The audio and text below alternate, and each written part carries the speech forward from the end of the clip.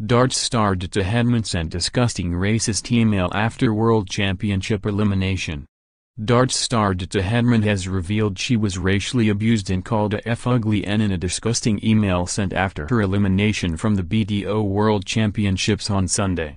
The 59-year-old has admitted she was left in tears after receiving the horrific message in the aftermath of her first-round defeat by Maria O'Brien at the Lakeside. Three-time finalist and third seed Hedman lost 2-0 to O'Brien in surprise defeat and as she walked off stage, she received the message.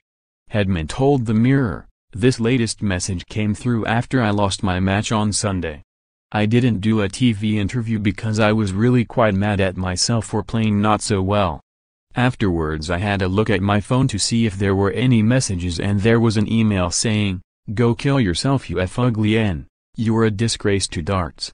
I showed it to my other half, Paul, and he was absolutely mad as hell. He was incensed. The name it came from looked Finnish and Paul said we need to check with the Finland Darts organization to see if they can find who it is. Paul sent him an email and he has actually replied, saying exactly the same thing again. Paul said he would send it to the sender's employer, and he said, he's racist as well.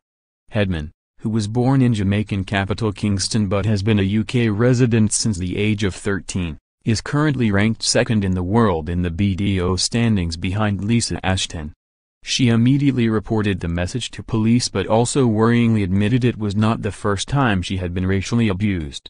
She added, one prime example, I was in the Czech Republic and a person with an English accent actually went, I didn't know they trained a monkey to play darts.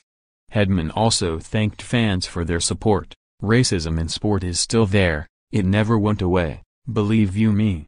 What got me, not in a bad way, was reading nice comments on social media.